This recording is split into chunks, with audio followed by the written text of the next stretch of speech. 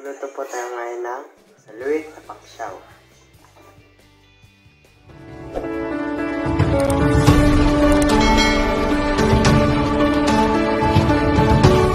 Ito na po ang bawang, sibuyas at luya.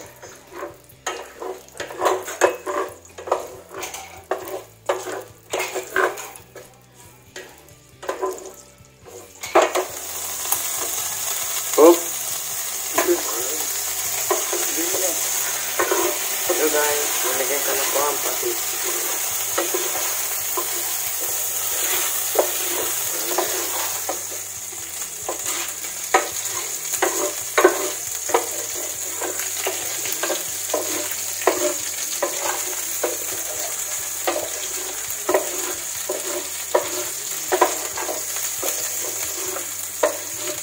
Pan saluyas bago po ilagay.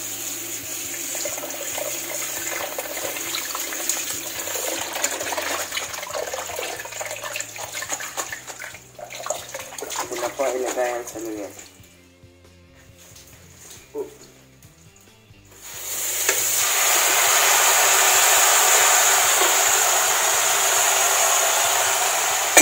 At ang wow sarap.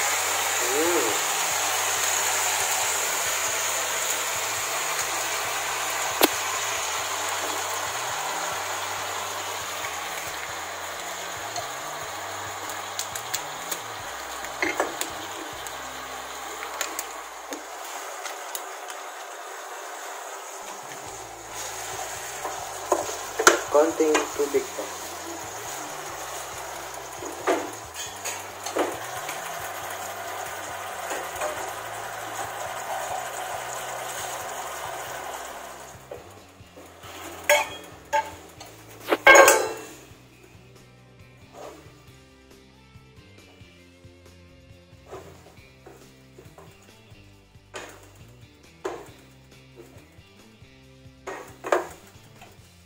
Pwede na po pakuluan ng mga ilang minuto.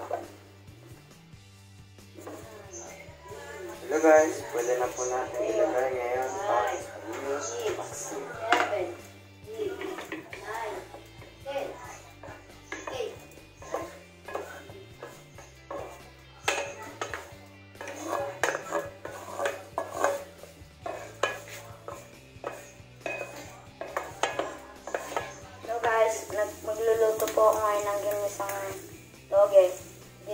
Na po ito giniling na baka.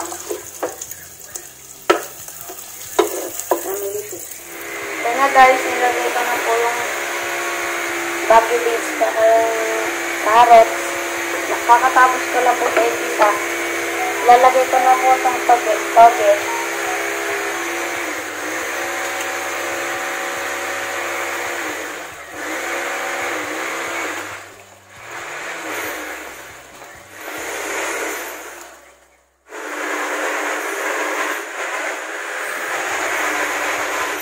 Na guys, luto na po ang aking ginisang tuge.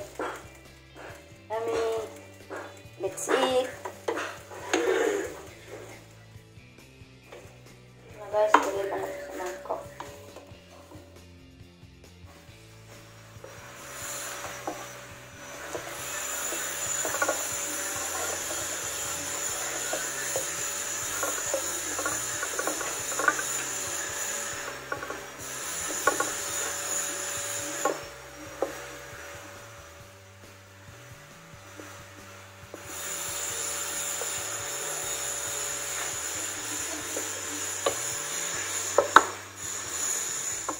Ito guys ang niluto ng aking dalawang anak. Si Gabi po at si JP. Siyaw na, na saluyot at ginisang togo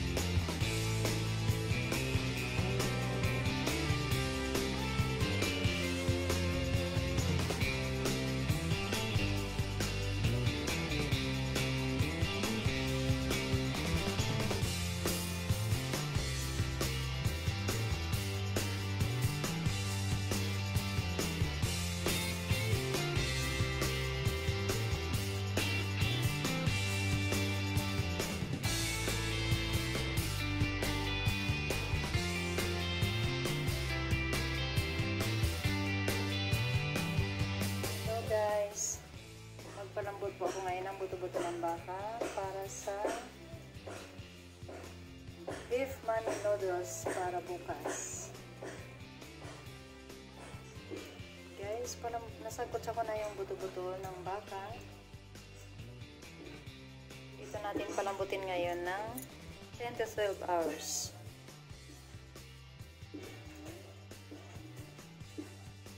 Lipat ko dito ngayon.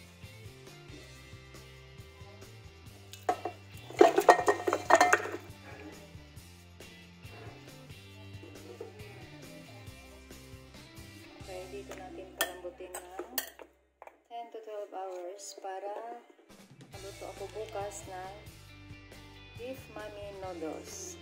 Guys, timer muna natin ng 10 hours.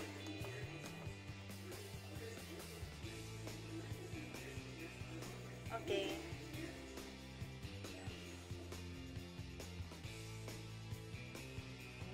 Hours. Hello guys, deliver ko na po ang pagkain ni Lola. Dinner in bed.